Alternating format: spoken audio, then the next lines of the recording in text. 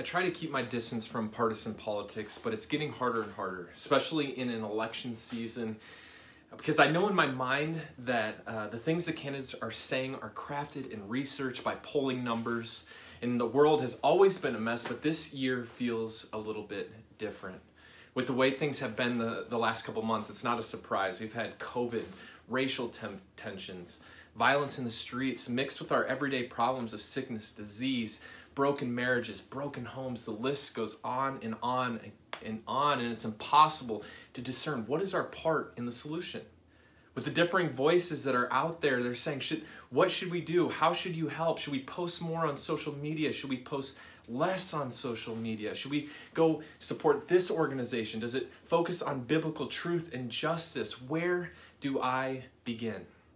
Now, what if I told you that you could know what our world needs and actually start acting on it? What if the blueprint for how you can impact the world is right in front of you and it actually applies to all of us right here and now? And what if it begins with ourselves? And what are we going to, and what we're going to see today in Jonah is that if you're going to make an impact in the world, you are going to have to be a light. You are going to have to model true gospel change in yourself from the inside out to truly have an impact. This is difficult. In fact, it's impossible. This is something that we cannot do on our own. I can't do on my own. But thank God we have the Bible that speaks to these things, and particularly in Jonah. We're looking at this uh, today because we're in a series on Jonah, and we're in chapter 3. But before we get into the text in a moment, I want to share a couple things with you. First, um, this new version of our on demand service is streamlined to get our community, the news, and Bible teaching directly to you while we continue our work on the live stream service. But the live stream or in person service is where we want you to be. Starting next week, we'll be having two services at 9 a.m. and 11 a.m. on Sundays. So please stay tuned while we share this weekend highlight announcement. In, in this time of COVID, our need for connection might be greater than ever, and this is one of the ways that we do that. Also, stay tuned to the weekly fog after the sermon so you can celebrate some of the ways we're making an impact in our world as a church body. So, check it out. Hey, Five Oaks family, Jonathan here. Uh, in this season, all of us are figuring out uh, new rhythms, and uh, many of them are being done in ways that they have never been done before. And here's the thing I know that you want encouragement and a place to just be real as you try to follow Jesus in all areas of life. We all we all need this. And so uh, this fall I'd like to invite you to be a part of a small group where you can be encouraged, where you can be real and follow Jesus together in a way that you couldn't on your own. And I invite you just to try it out. We, we have a new series starting at the end of September that runs for just eight weeks. And I just say, try out a group for just those eight weeks and see how God uses that to help you feel more loved and help you follow Him more closely. And also, I bet God will use you to be a blessing to the other people in the group too. So come join a group on our website. See you guys. We are in our fifth week in our Jonah series, and lots has happened in the story of Jonah. One of the quickest ways that we can review this is by watching a portion of the Bible Project video on Jonah. The story opens as God addresses Jonah and commissions him to go preach against the evil and injustice in Nineveh, the capital city of the Assyrian Empire, Israel's bitter enemy. But instead of going east to Nineveh, Jonah goes in the opposite direction, finding a ship going as far west as you can go to Tarshish. Now, the big question here is why? Why does Jonah run? Is he afraid? Does he just not like Ninevites? And we're not told yet. So the man of God tries to run from God, and he boards a ship full of pagan sailors. He goes down into the ship and then he falls asleep. So God sends a huge storm to wake up his prophet, while ironically the sailors above board are wide awake to everything that's happening. They can discern that there's a divine power at work here. So they throw the dice and they discover that Jonah, he is the culprit.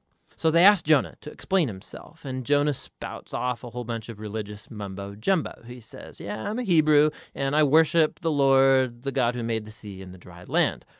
What a joke, right? God made the sea and the dry land all right, and Jonah's dumb enough to run from this God by getting on a boat? And when the sailors ask Jonah what they should do, he says, kill me, right, by throwing me overboard, which kind of seems noble at first until you realize this could actually be his most selfish move yet. I mean, what better way to avoid going to Nineveh? So he puts his blood on these innocent sailors' hands by trying to force them to kill him. They're reluctant, of course, and they repent to God even as they toss him over.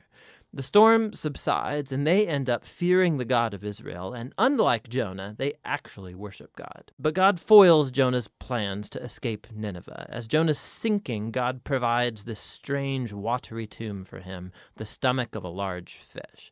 Now, of course, under normal circumstances, this would be certain death, but in this story, everything's upside down. And so Jonah's submarine death becomes his passage back to life. Cramped in the stomach of this beast, Jonah utters a prayer where he never technically says that he's sorry, but he does thank God for not abandoning him, and he promises that he will obey God from this point on, no matter what. And God's response is quite comic. The whale vomits Jonah back onto dry land. So once again, God commissions Jonah to go and preach in Nineveh, and Jonah complies. We're told that Nineveh was a gigantic city, it would take days to walk through. So Jonah gets one day in, and here is his message. Forty more days, and Nineveh will be overturned. It's five words in Hebrew. Now, his sermon is very short, and it's also odd. I mean, look at what's missing. There's no mention of what the Ninevites have done wrong, or of what they should do to respond. There's no mention of who might overturn them, and most noticeable, there's no mention of God. What's going on here? Has Jonah intentionally given the bare minimum of information? It's like he's trying to sabotage his own message or ensure the Ninevites' destruction. There's just no effort on Jonah's part here. Whatever his motives are, the plan doesn't work. Because no sooner does he utter this five word sermon that the king of Nineveh, the entire city, including all its cows, repent in sorrow and ashes. So, for the second time, these evil pagans show themselves to be more responsive than God's own prophet. So God forgives the Ninevites and he doesn't bring destruction on the city. Now, here's the brilliant part of the story. The last word of Jonah's short sermon, overturned, means just that, turned over. And it can refer to a city being overthrown or destroyed, like Sodom and Gomorrah, but it can also be used of something being transformed, like turned over and changed into its opposite. And so, comically, Jonah's words actually came true, but not in the way that he intended. Nineveh does get turned over as Jonah's enemies repent and find God's mercy. Here's Jonah chapter 3. Then the word of the Lord came to Jonah a second time Go to the great city of Nineveh and proclaim to it the message that I give you. Jonah obeyed the word of the Lord and went to Nineveh now, Nineveh was a very large city. It took three days to go through it. Jonah began by going a day's journey into the city, proclaiming 40 more days and Nineveh will be overthrown. The Ninevites believed God. A fast was proclaimed, and all of them, from the greatest to the least, put on sackcloth.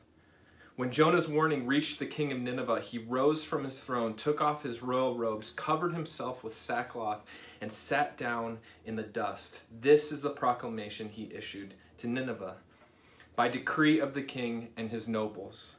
Do not let people or animals, herds or flocks taste anything. Do not let them eat or drink, but let people and animals be covered with sackcloth. Let everyone call urgently on God. Let them give up their evil ways and their violence. Who knows? God may yet relent and with compassion turn from your, his fierce anger so that we will not perish. When God saw that they did and how they turned from their evil ways, he relented and did not bring on them the destruction he had threatened. We're going to look at three ingredients for making lasting change and lasting impact today. These three ingredients are, are missing in the political partisan solutions, but they're central in the Bible. What we get today in society is often a strong mix of stuff that ends up making a mess and dividing people even more than they already are. And usually it, it always adds to the problem. It reminds me of one of the YouTube videos that uh, Kyler and I shot for the youth this summer. Um, like most ministries, uh, this year was different. We had to pivot what we were doing in ministry and we had to go online. Now, we're not professional YouTubers, but we created a weekly YouTube youth group and, and Zoom to keep students engaged with the ministry, with their leaders, and with God's Word. Now, this is probably something that happened to everybody, but after a while, like everything else, there was Zoom fatigue, there was online platform fatigue, so we did literally everything short of setting ourselves on fire to keep things interesting. Um, but one week we did decide to make uh, smoothies for each other. And in these smoothies, there were a bunch of random foods. We had like a meat, a sweet, a liquid, a veggie, a fruit, something like that. It was gross.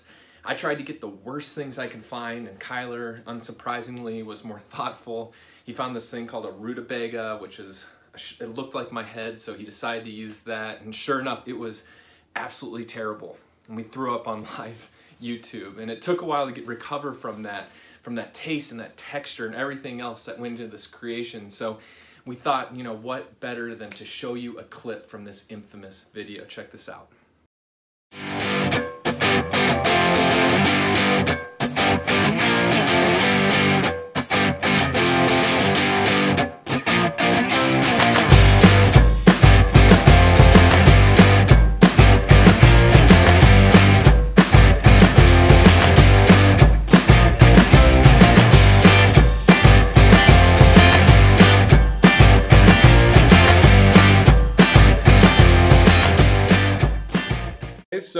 Stir this concoction. His is chunky. yours is, is smooth. Yeah, so I really is... appreciate that.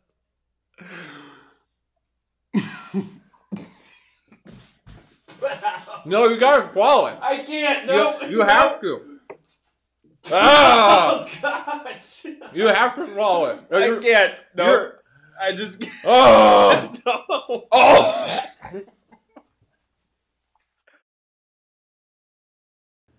what our world often offers for making an impact and seeking solutions is a lot like that video. We throw in one political idea with this person's story, you put in a little guilt, some violence, put your money here, spend your time doing this, and we wonder why things are getting worse and worse. And it's getting worse because our world is missing the most important ingredient. So, what are the three ingredients for making a lasting impact? Remember, we start with ourselves and then we can humbly point others to those same ingredients. Now, the first ingredient that it takes to make an impact is to practice repentance. Jonah had to repent from running from God before he could preach repentance to the Ninevites. Repentance, by definition, is turning from sin and rebellion against God and evil. We all participate in sin. We all participate in rebellion and evil. We're all part of the problem. But for some reason, we're surprised when others repent. Sometimes we see people as being too far gone. Or like Jonah, secretly in our hearts, we don't want them to repent. Or maybe we don't care if they repent because then we'd have to forgive them. Someone's surprising readiness to repent is illustrated from an outlier in the Me Too movement. Now, usually in the Me Too movement, when accusations have been made, there's usually denial or excuses. If there's confessions, it's usually excused, appealing to some kind of addiction, or even when there's repentance, there's no forgiveness. But this story is a little bit different. Now, maybe you've heard of him. His, his name is Dan Harmon. He's a he's a writer, producer, and actor. He's done a lot of things uh, like Community and some other major shows. But he got in some trouble on the set of Community. A woman he had a crush on didn't reciprocate, so he made her life horrible. He later said on a podcast, I crushed on her and I resented her for not reciprocating. It made the, the entire time I was writing her paychecks and control whether she stayed or went and whether she felt good about herself or not, and said horrible things. Harmon said, just treated her cruelly, pointedly things that I would never and would never have done if she had been a male and if I had never had those feelings for her. I never did it before and I'll never do it again, but I certainly wouldn't have been able to do it if I had any respect for women.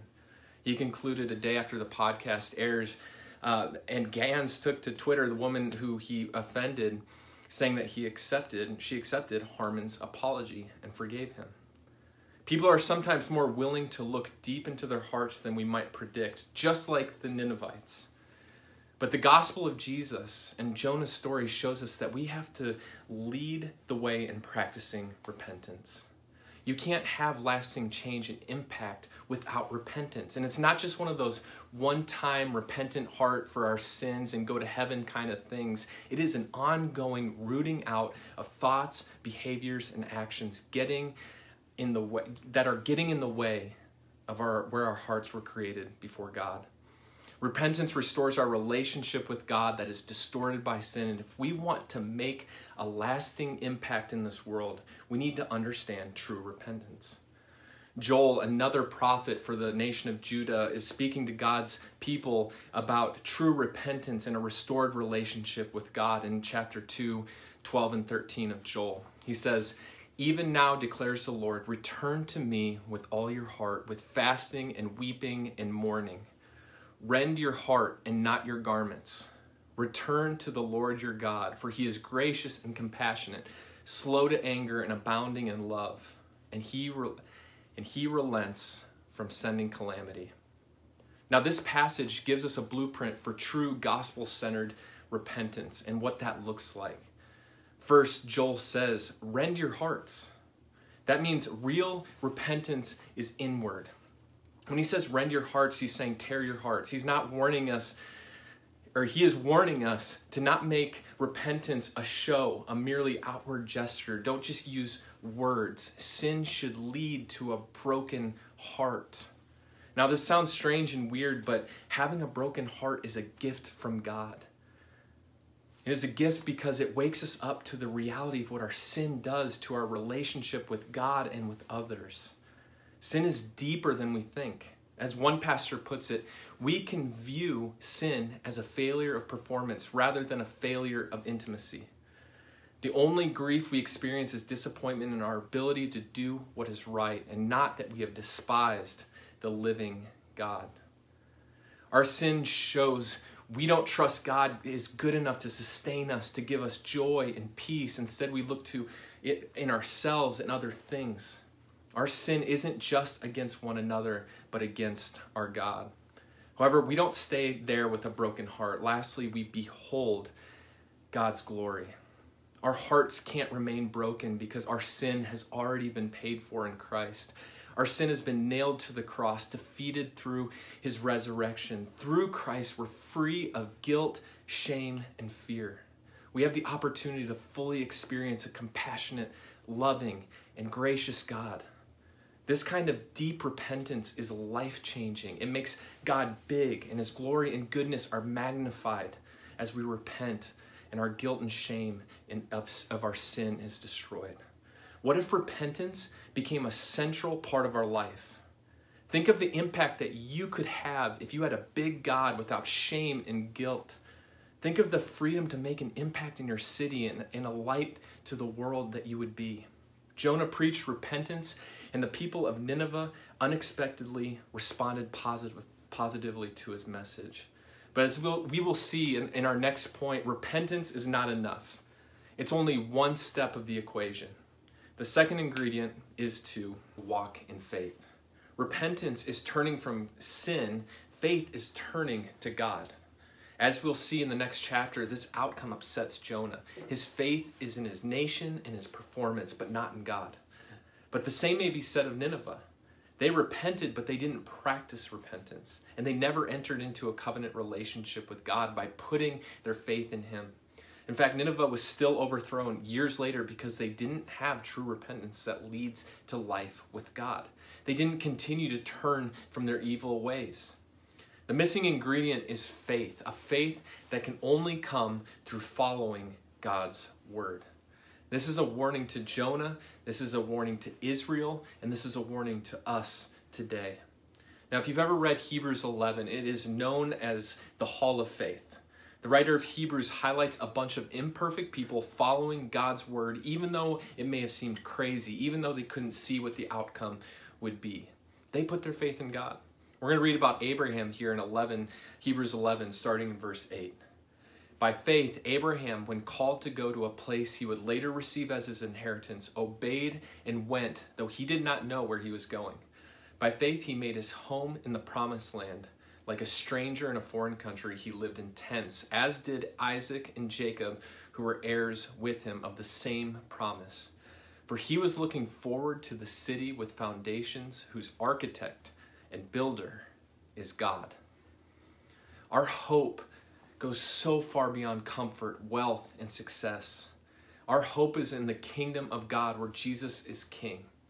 Heart rendering repentance only makes sense in light of God's kingdom. True justice only makes sense in light of his kingdom. We must look towards the city with foundations whose architect and builder is God. Now we got repentance, true repentance, we have true faith, but we have one more ingredient to making a lasting impact.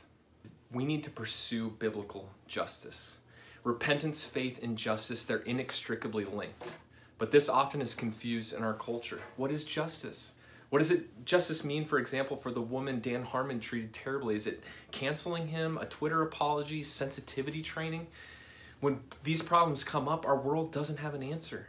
Justice can only come from a heart of repentance before God and walking in faith with God. The reason Jonah was sent to Nineveh was because of the extreme violence and injustice the Ninevites inflicted on themselves and also the surrounding nations. One of the interesting things about this passage comes in verse 5. In verse 4, it says Jonah began by going a day's journey into the city, proclaiming 40 more days and Nineveh will be overthrown. Verse 5 says, The Ninevites believed in God. A fast was proclaimed, and all of them, from the greatest to the least, put on sackcloth. When Jonah's warning reached the king of Nineveh, he rose from his throne, took off his royal robes, covered himself in sackcloth, and sat down in the dust. Now, if you notice there, even before the government got involved, justice rolled through the city from the greatest to the least, meaning the, the rich people, uh, violence against the poor, the poor's violence against the rich, the middle class taking advantage of each other. When it comes to justice, we all have a part to play in it. But far too often, this aspect of gospel ministry gets confused with right versus left politics. The right ends up, they tend to focus on truth when it comes to justice and repentance. If you just get the right amount of truth, it will produce justice, it will produce repentance. It's focused on truth. The left will often pursue justice and repentance by setting up social pro- programs in our cities in order to prevent injustice at the expense of truth. They, they all about doing instead of actually seeking repentance and change.